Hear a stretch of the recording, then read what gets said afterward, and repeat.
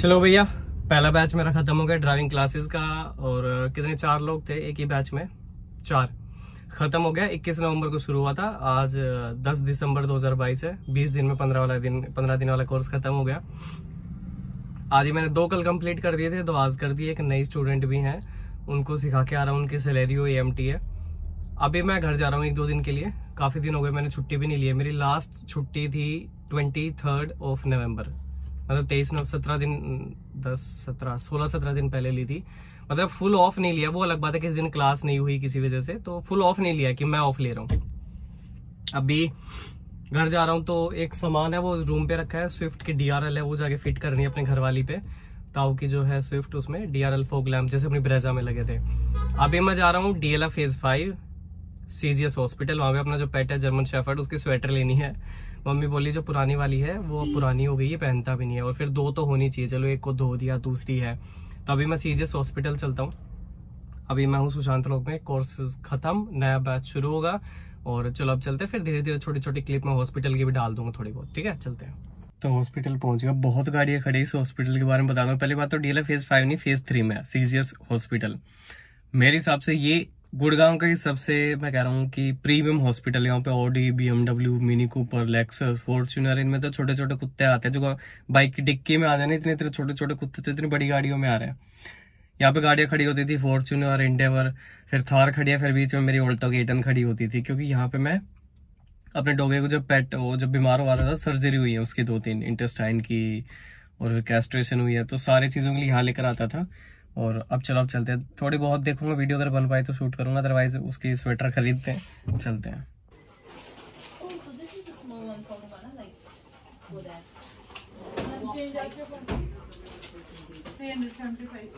अभी वेट करना पड़ेगा लंच चल रहा है। गाड़ियाँ देखो कौन कौन सी है। ठीक है? एक्टर है और सी एज है नेक्सोन फिर सेवन डबल ओ भी खड़ी है अर्टिगा भी खड़ी है। इधर देखो।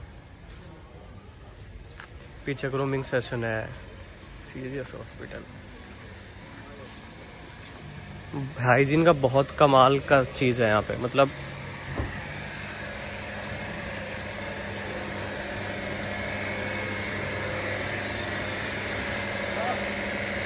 ये देखो, यहाँ पे मैं पीछे वाले एरिया में हूँ, यहाँ पे ये इसका ग्रूमिंग जो है पार्लर वो पार्लर है, जो भी एरिया है, यहाँ पे घास हुआ करती थी पहले, अब तो टाइलें बिछा दी। यहाँ पे एक चीज़ अच्छी है, जैसे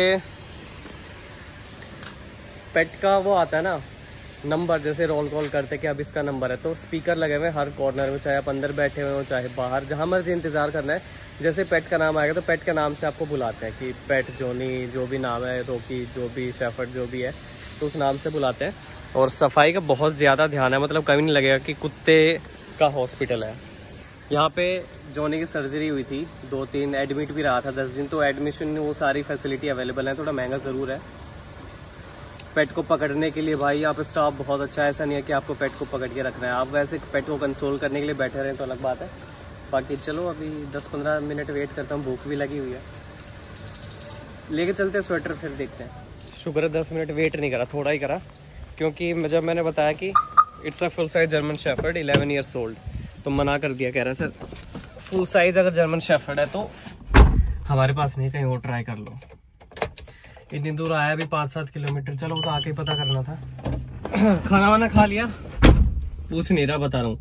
घर निकला था लेकिन अभी एक से बात हो रही है। प्रशांत से उनकी स्कोडा स्लाविया है। तो सोच रहा हूँ उस पर रिव्यू वीडियो बना के फिर घर निकल जाऊँ। तो उसका रिव्यू वीडियो अगर बना तो चैनल पे आ जाएगा। देख लेना। अभी मैं जा रहा हूँ गोल्फ कोर्स एक्सटेंशन वहाँ पे गाड़ी का शूट है। एक आधी कोई क्लिप होगी तो डाल दूँगा। अदरवाइज़ शूट करके घर निकलते हैं। सो so, स्कोडा स्लाविया का रिव्यू हो गया। स्लाविया से सीधे वैगनार में बैठ चुका हूँ। सामने ट्रैफ़िक लाइट है तो वीडियो शूट कर रहा हूँ। इट वॉज़ अमेजिंग एक्सपीरियंस उनका भतीजा था प्रशांत का औद्विक चौधरी भाई, क्या कमाल का लड़का यार, छोटा सा। I think is just four five years old उसका वीडियो में आएगा, देखना। बहुत क्यूट बच्चा है। देखो, अभी जो आई एम टी मानेसर के पास मैकडोनल्ड है ना, यहाँ मैं हूँ तो दो बर्गर और लेता हूँ और एक फ्राइज लेता हूँ। ये मेरा फेवरेट जंक फ़ूड है। जब भी मैं बाहर जाता हूँ, मुझे लग रहा है कि हेल्दी तो काफ़ी दिन हो गए थोड़ा बहुत जंक खाते तो मैं मैकडी का आलू टिक्की बर्गर खाता हूँ। और यहाँ पे ना एक नई चीज़ है वो अभी मैं दिखाऊँगा जब हम खाना ऑर्डर करेंगे। चलो अपना नंबर आने वाला है और ऑर्डर देखना है यहाँ पे कैसे लेते हैं ठीक है? हाँ भैया? हाँ, दो आलू टिक्की कर दो और एक स्मॉल फ्राइज और सर? बस यही कर दो काफ़ी एक स्मॉल फ्राइज हाँ। नेक्स्ट विंडो ठीक है थैंक यू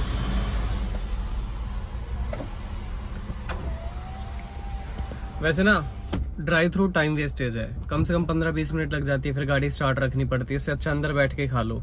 मैंने पहले ही करा है, लेकिन आज क्या था वीडियो बनानी थी ना, ये दिखाना था। लास्ट टाइम जब मैं सोचा, यार वीडियो नहीं बना पाया। तो सोचा, ये वाला एक्सपीरियंस दिखाता हूँ कि ऐसी ऐसी भी चीज़ें हो गई है ड्राइव थ्रू में। तो मैं तो अंदर बैठ कर खाना प्रेफर करता हूँ। मैं, मुझे ड्राइव थ्रू पसंद नहीं है, अगर भीड़ लाइन वाइन लग रही है। मुझे, क्यों में लगना पसंद नहीं है। तो बस यही है। चलो, लेते हैं पेमेंट वेमेंट करेंगे। यूपीआई करना पड़ेगा तो फ़ोन रखना पड़ेगा। देखो, तीन विंडो होती हैं। अपना पेमेंट का टाइम आ रहा है। या एक पे ऑर्डर प्लेस होता है। सेकंड पे पे हियर थर्ड पे ऑर्डर की डिलीवरी लेनी है। तीन है। टाइम काफ़ी ज़्यादा लग जाता है। गाड़ी बंद करनी पड़ रही है बार बार। जो बंदा डिपेंडेंट होता है ना यूपीआई पे, उसका ये हाल होता है। बीस पच्चीस मिनट लगे यहाँ पे और फिर मेरा पेमेंट फेल हो गया यूपीआई पे। दोनों बैंक से ट्राई करा पेमेंट फेल इतना टाइम वेस्ट हो गया, अब अंदर जाके बैठ के ऑर्डर करना पड़ेगा। मेरे पास कैश नहीं है। अब अंदर जाके कब, अब पीछे गाड़ी हॉर्न पे हॉर्न मारने लगी वॉलेट भी भूल गया मैं। चलो अब अंदर जाके खाना पड़ेगा। यार वेट करने का एक फ़ायदा तो हो गया। वहाँ पे मेरा बिल आ रहा था हंड्रेड एंड फिफ्टी सिक्स का, जिसमें दो आलू टिक्की, एक स्मॉल फ्राइज अंदर मेरा हंड्रेड एंड फाइव एक सौ पाँच रुपए में फ्राइज भी फ्री मिल गए, क्योंकि ऐप पे ऑफ़र चला हुआ था। कि सेवेंटी नाइन या नाइनटी नाइन के ऑर्डर के ऊपर फ्री ले लो, या तो कोल्ड कॉफ़ी ले लो या फ्राइज मेरा फ्राइज का मन था, मैंने फ्राइज ले लिया तो चलो, वो वहाँ पे सेटल हो गया, जो मैंने वेट किया इतना देर। फ्राइज फ्री में मिल गए। तो ये ऑफ़र आप भी ट्राई कर सकते हो, सबके पास है कि नहीं। चलो, इस व्लॉग को यहीं खत्म करते हैं, काफ़ी लंबा हो गया है। अगले व्लॉग में देखेंगे क्या आएगा, मैं कुछ प्लान नहीं कर रहा हूँ। Thank you so much subscribe कर लेना यार।